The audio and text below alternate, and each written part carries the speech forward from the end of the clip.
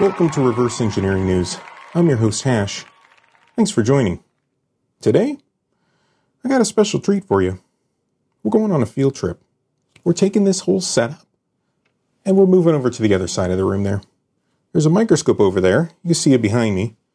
We're going to take a look at what microchips look like when you shine infrared light on them. Now, if it's a certain kind of microchip, where it's a silicon is exposed on the top, you're going to see we can actually see through it. A few weeks back, I did a reverse engineering news episode where I talked about Bunnie Huang and the work he did looking through silicon. I thought it would be awesome to set this up myself and give it a try. I already have a microscope, I already have a camera, I already have uh, pretty much everything that's needed. The only thing I didn't have was the specific infrared LED. Well, now I do.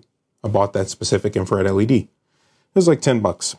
I'm going to show you just how easy it is to modify the camera that came with that AmScope microscope. It's super simple, even in comparison to what I showed last week.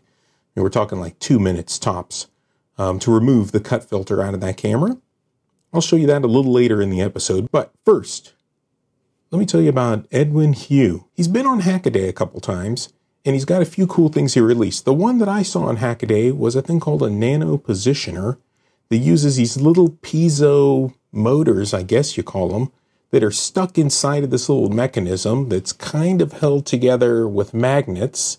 And the piezo motor, when it's activated, causes it to move.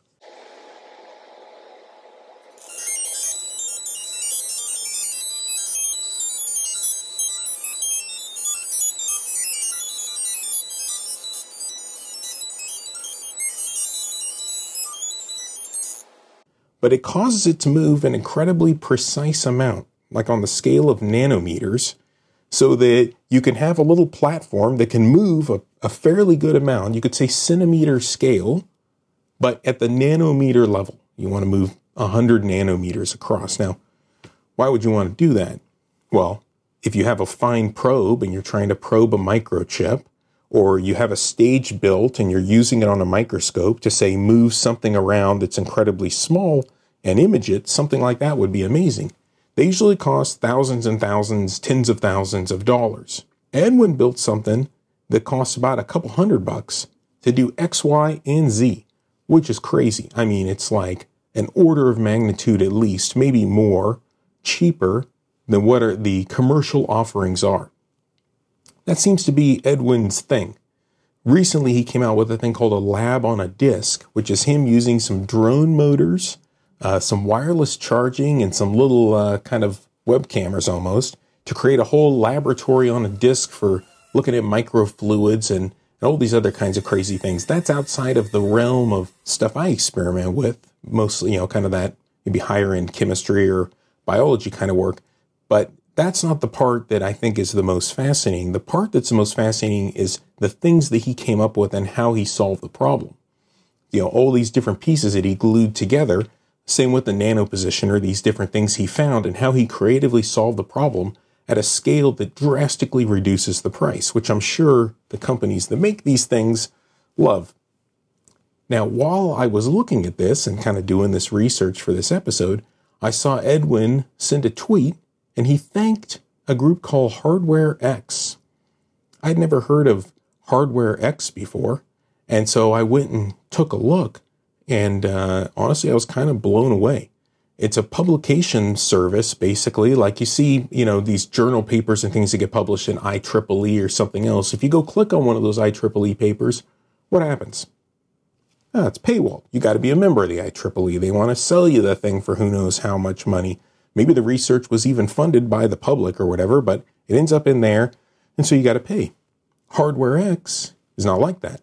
Everything they publish is 100% open, and it seems the kinds of things they lean to publish are completely open source and stuff that you can replicate. Like if you read the nano positioner paper that I have down in the description, I mean, it's like it's like all of the instructions of how this thing works, all the theory of it, and then how to replicate it like exactly which parts were used, how much he paid for them.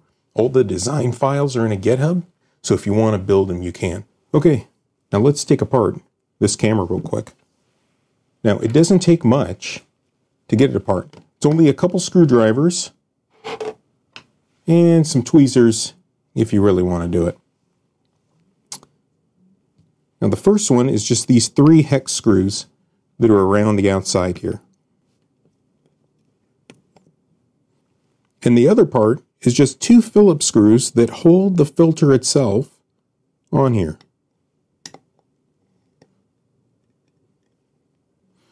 Now I like to keep this stuff in a little uh, a little container just so we don't lose it.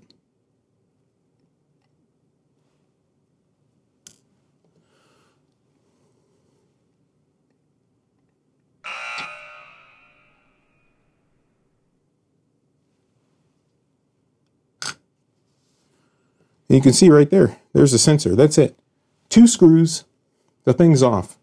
We pop this guy back on top here. And we're over in we're. Okay, so here's an overview of the setup. we have the microscope right there. There's a power supply I'm going to use to run the LED that I'll shine so I can precisely control the current. No reason other than that. A potentiometer and a battery would be fine. But I just have this power supply, so I'm going to go ahead and use it. And then up here will be the image from the microscope. This is a little hard to see because the chip itself is silicon and this is etched on it, but it says CYW43438, which is the microchip. Okay, now this LED is rated for 100 milliamps. I'm going to set the power supply to 5 volts and I'll probably cap it at about 95 milliamps. I'll show you the difference as we're doing it as I vary the, the milliamp range up and down how that impacts how well it can see through the, the silicon. Now remove the camera and set it here. And on the screen, I'll show you what the camera's seeing on the monitor. We'll shine this LED in and we'll see what we see. And it goes super bright. I mean, the camera's definitely seen it. Now watch as I take the IR cut filter we took off and I'll put it in front of the camera. There it is. Now if I move, boom. So it blocks out a fair amount of infrared light. And the camera is obviously sensitive to this wavelength of, of LED, which is great Is the world's jankiest setup. They say gaff tape does wonders. They're not lying. This stuff's amazing. So the more I turn up the visible light, the more all we see is the top of the silicon itself, right? And as I turn it down and it adjusts the exposure, and the infrared light starts to be the only source,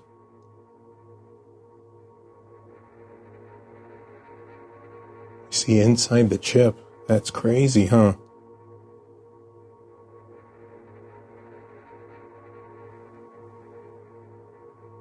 This is inside of that chip, like the silicon structure itself.